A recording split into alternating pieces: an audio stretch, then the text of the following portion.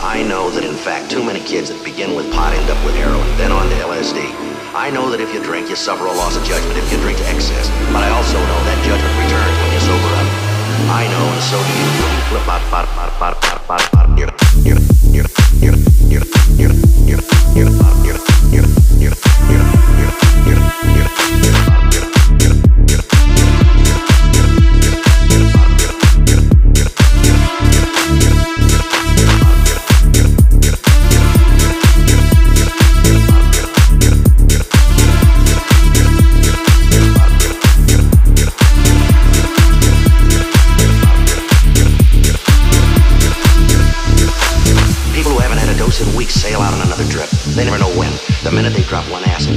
Ingest it in any way they bought the farm.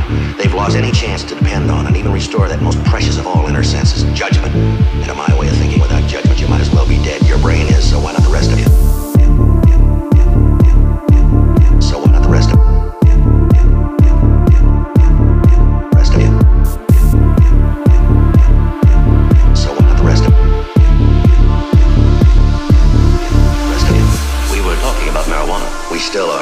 Marijuana is the flame, heroin is the fuse, LSD is the bomb. So don't you try to equate liquor with marijuana, mister. Not with me. You may sell that jazz to another pothead, but not to somebody who spends most of their time holding some sick kid's head while he vomits and retches sitting on a curbstone at 4 o'clock in the morning. And when his knees get enough starch back in them so he can stand up and empty his pockets, you can bet he'll turn out a stick or two of marijuana. And you can double your money. He'll be